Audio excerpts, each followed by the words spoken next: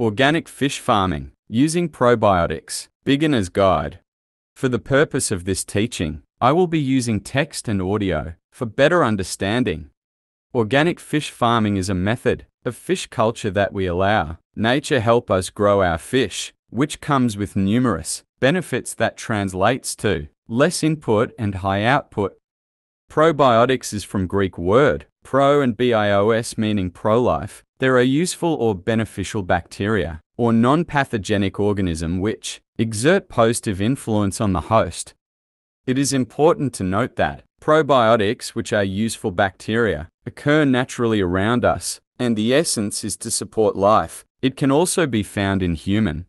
Benefits of probiotics in fish farming 1. Prevention and disease control. 2. Improved water use efficiency. 3. Good and reduced FCR.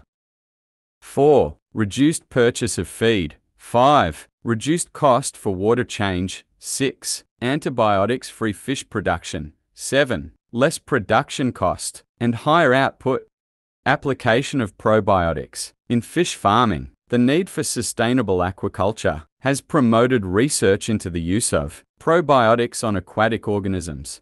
1. Growth promoter. Probiotics have been used in aquaculture to increase the growth of farmed fish. It improves digestibility and FCR.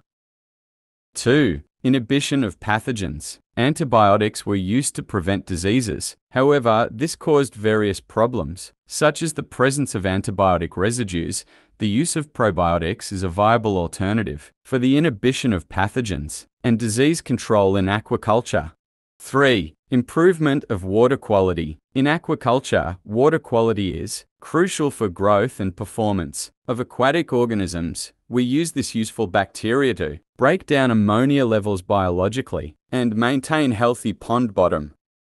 4. Stress tolerance. Aquaculture practices demands movement and transportation of aquatic lives. As such needs immunity against stress, probiotic produce fish are more resilience to stress as advantage over the normal conventional fish farming.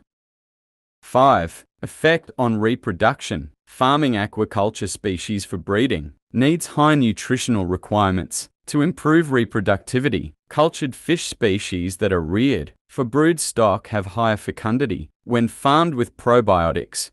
7. Reduce feed purchase. Proteinous feed called biofloc is produced when useful bacteria assimilate or break down fish waste and aggregates with other heterotrophic microorganisms.